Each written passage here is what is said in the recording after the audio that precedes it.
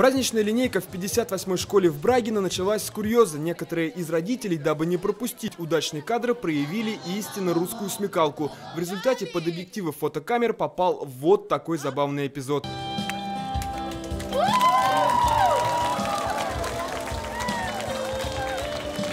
Наверняка этот случай останется в истории школы, смеется Наталья Чеплыгина. Для преподавателя это 22-я праздничная линейка. И в пятый раз за школьную карьеру она принимает первоклашек. Дети меняются.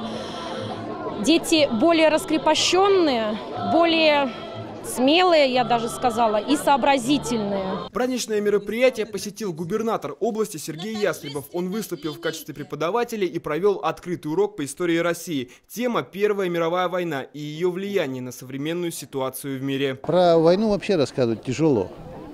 А, про ситуацию на Украине, наверное, вдвойне тяжелее, это как это наш дружественный славянский народ. Не мог Сергей Ястребов и не вспомнить и про свою первую школьную линейку. Пошел в школу, чуть не попал под мотоцикл.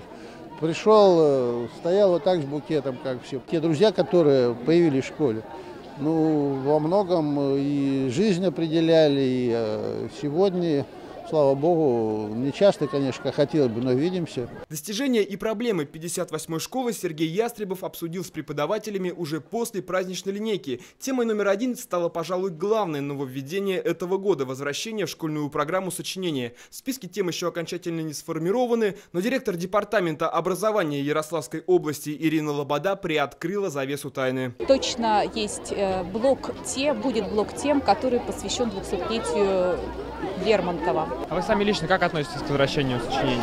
Я думаю, что это огромное благо, потому что уметь писать, выражать свои мысли не только устно, но и письменно – это огромное и необходимое условие для человека. Всего сегодня в школы региона отправилось 117 тысяч детей, что на 2000 больше, чем в прошлом году. Кстати, 380 из общего числа школьников – это дети из семей беженцев из Украины. Александр Лисицын, Денис Ромашов и Георгий Иванов. День в событиях.